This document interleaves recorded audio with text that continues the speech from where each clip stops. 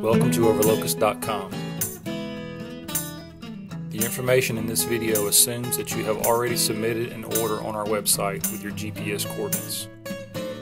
If you have not done so or do not understand yet how to do so, please refer back to the first video.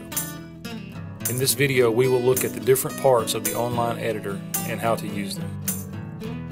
The Overlocus image editor was designed to give you a full range of options that allow you to fully customize your print. At the top of the image editor are three tabs showing the tools available. When you select a tab, it becomes red, indicating that it is the active tab. These tabs include the drawing tab for creating curved or straight lines, a text tab for adding type, and the image tab for selecting and inserting stock images. At the bottom of the image editor, you will see a set of tools used to manipulate the position, the scale, and the state of the image that you're working on. The first tool at the bottom is the photo hand. This hand will allow you to move the property photo around inside of the working window. To use it, simply click and hold the mouse on the property photo, and the image will then move when you move your mouse. When you have the image adjusted the way that you like, release the mouse and the image stays in place.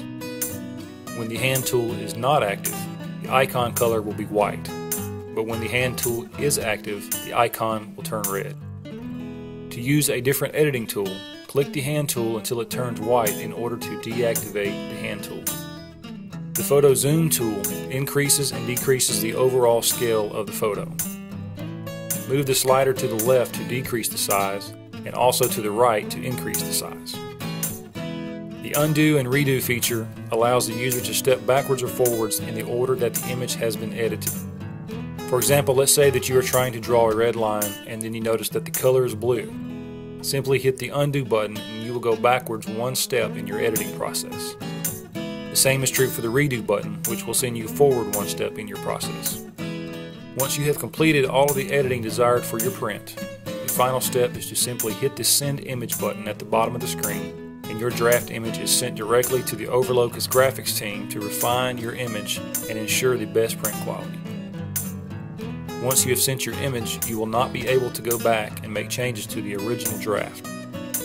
Proceed to the next few videos to learn how to use the drawing, text, and image features of the online editor.